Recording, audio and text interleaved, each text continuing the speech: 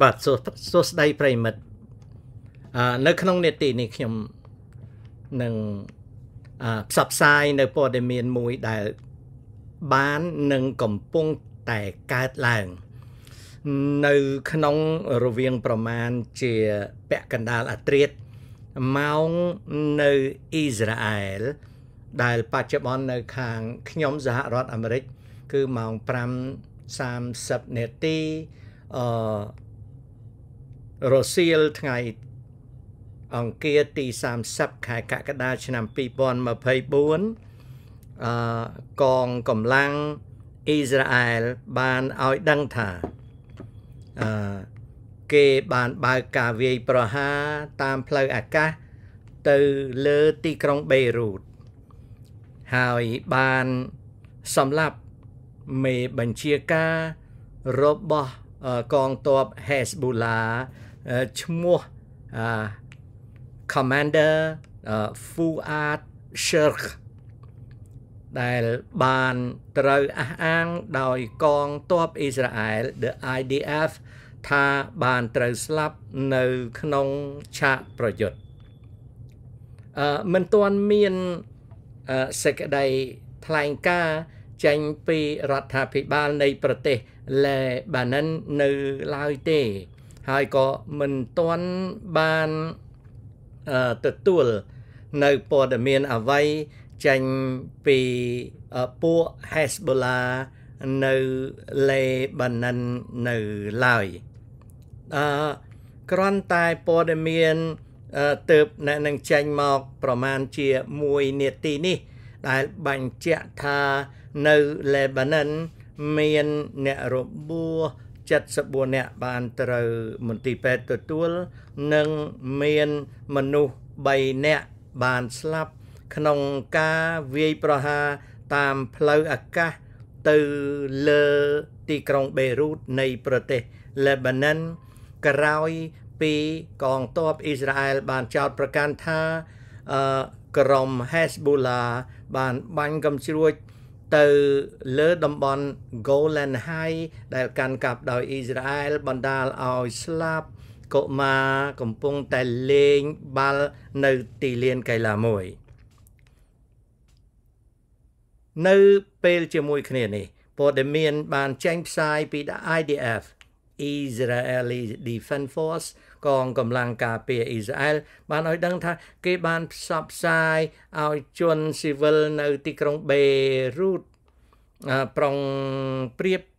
ហើយនឹងគេឲ្យជនស៊ីវិលនៅក្នុងប្រទេសអ៊ីស្រាអែលចូលលេនឋាន ការពារនៅពេលដែលគេបើកការវាយប្រហារទៅលើ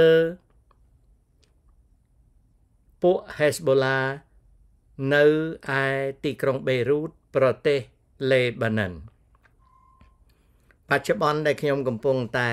នឹងផ្សាយនេះ គឺនៅសហរដ្ឋអាមេរិកកំពុងតែអឺចាប់ផ្ដើមផ្សាយព័ត៌មាន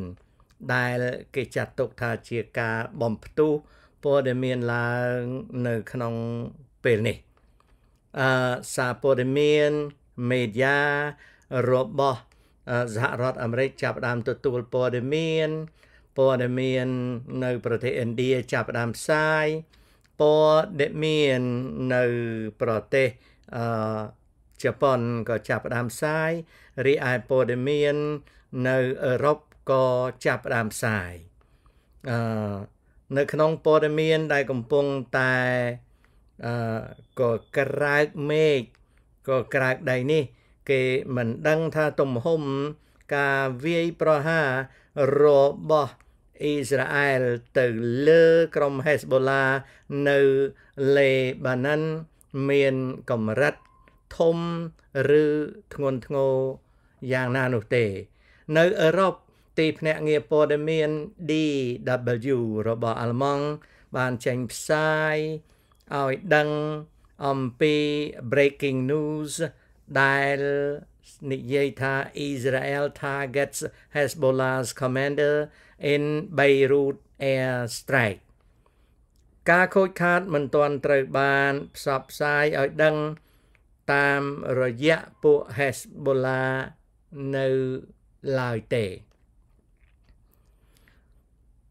ប្រសិនបើការវាយប្រហារនេះមានកំណត់នោះគេ មិនសូវព្រួយបារម្ភឡើយថាសង្គ្រាមនៅមជ្ឈមបូព៌ាអាចនឹងរីក out of control ឬរីកដែលអាចមិនអាចគ្រប់គ្រងបាន នៅក្នុងពេលនេះការផ្សាយព័ត៌មានពេះពេញពិភពលោកស្ដីពីកងទ័ពអ៊ីស្រាអែលធ្វើការវាយប្រហារនៅទីក្រុងបេរូតប្រទេសលេបាណិន កំពុងតែផ្សាយរីឯការខូចខាត មិនទាន់បានដឹងច្បាស់ការទាំងអស់នោះទេព័ត៌មាន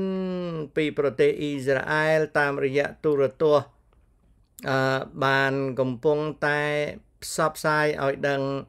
នៅរូបភាពដែលគេអះអាងថាស្រង់ចេញពីទីក្រុងបេរូតប្រទេសលេបាណិនស្ដីអំពីរថយន្តពេទ្យ ដែលកំពុងតែអឺមានមានញឹកក្នុងការដឹកអ្នករបួស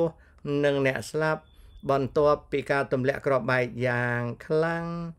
របស់កងអាកាសអ៊ីស្រាអែលដែលបានធ្វើការវាយប្រហារទៅលើទីក្រុងបេរូតមួយចំណែកដែលមិនទាន់បញ្ជាក់ទីតាំងបានច្បាស់លាស់នៅប្រទេសលេបាណិនវិលត្រឡប់មកព័ត៌មាន ដែលចេញផ្សាយពីអឺដែលចេញផ្សាយពីអឺសារព័ត៌មាន The Times of Israel បានឲ្យដឹងថា uh, uh, senior Hezbollah commander named Fuad Shukr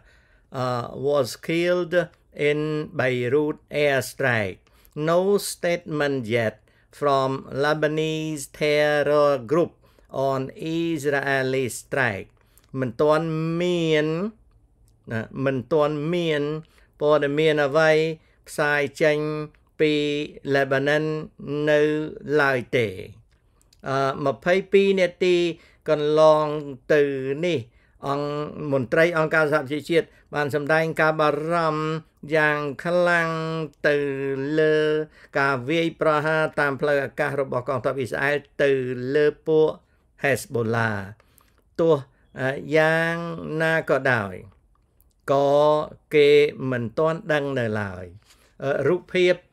ដែលចេញផ្សាយនៅអ៊ីស្រាអែលពីមុខមាត់របស់មេបញ្ជាការថ្នាក់ខ្ពស់ នៃ Hezbollah ដែលខាងអ៊ីស្រាអែលបានអះអាងថាបានស្លាប់ក្នុងការវាយប្រហារនោះក៏ពុំទាន់បាន confirm នៅឡើយទេ នៅក្នុងចំណែកនេះរីឯអឺសាទីភ្នាក់ងារព័ត៌មាន The BBC នៅ ប្រទេសអង់គ្លេស ក៏បានថតនៅរូបភាពស្ដីអំពីការផ្ទុះហើយផ្សែងនឹងចេញអណ្ដាតភ្លើងនៅក្បែរជាយក្រុងបេរូតដែលបង្ហាញពីការវាយប្រហាររបស់កងទ័ពអ៊ីស្រាអែលទៅលើ Hezbollah ទោះបីយ៉ាងណាក៏ដោយអ្នកស្លាប់នៅតែ តម្កល់ចំនួន3នាក់និងរបួស74នាក់ដដែលសូមអរគុណ